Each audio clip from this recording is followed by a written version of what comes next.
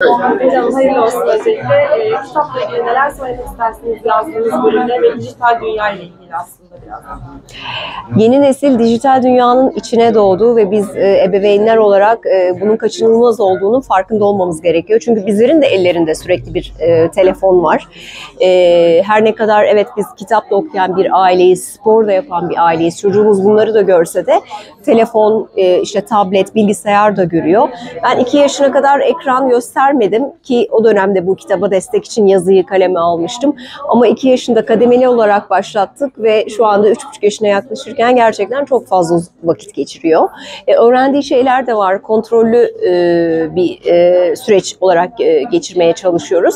Ben aslında bu yaşadığımız ikilemi kitapta dile getirdim. Yani e, evet dijital var, bu kaçınılmaz. Üstelik pandemi gibi bir e, dönemi atlattık dünya olarak ve o zaman teknolojiyi bilmeleri gerekiyordu. Eğitim bile online oldu. E, dolayısıyla artık dijital bir dünyada yaşıyoruz. Hayatımızın bir tarafı böyle. E, çocuklarımızı da bunu hazırlamamız gerekiyor. Ama bu bir ikilem. Doğadan, doğaldan çalıyorlar vakitlerini. Ben de bu ikilemi e, kitapta e, dile getirdim. Yani artıları olduğu gibi eksileri de var. Her şey bir denge olmalı. Aileleri böyle nasıl bir görev? Herhalde bu önlenemez bir şey. Yani dijital önlenemez.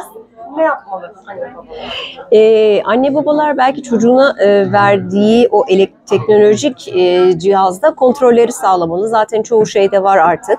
E, mümkün olduğunca orada kontroller, videoları önceden kendisi izleyip biraz vakit ve emek harcayacak ki biz de öyle yapıyoruz. İşte bazılarını bloklayacağız, şöyle konulu şeyleri karşısına çıkarma diyeceğiz ve e, ona verdiğimiz e, cihazı çocuğa göre hazırlayacağız. Yani bütün uygulamalar açık olmayacak e, gibi bu şekilde biraz daha kontrol altında ve bir kulağımız hep onun seyrettiği şeyde olacak. Yani benim çocuğum zaten ekranı izlerken ben de aynı odanın içindeyim. Dolayısıyla onun ne izlediğini duyuyorum. E, yanlış bir şey duyduğum an gidip belki müdahale edip onu değiştirmek, dikkatini dağıtmak. Çok uzun seyrederse ona alternatif oyunlar e, üretmek. Aslında çocuğumuzda kaliteli vakit geçirmek için emek harcamamız gerekiyor. Ona alıp böyle renkli hikayelerle masal dünyasında gezdirmek, birlikte spor yapmak. Hadi şimdi parka gidelim, doğaya çıkalım, yürüyüş yapalım, koşalım, oyunlar oynayalım demek. Yani biz mesela YouTube'da izlediği bir oyun şekli var orada böyle süper kahramanların.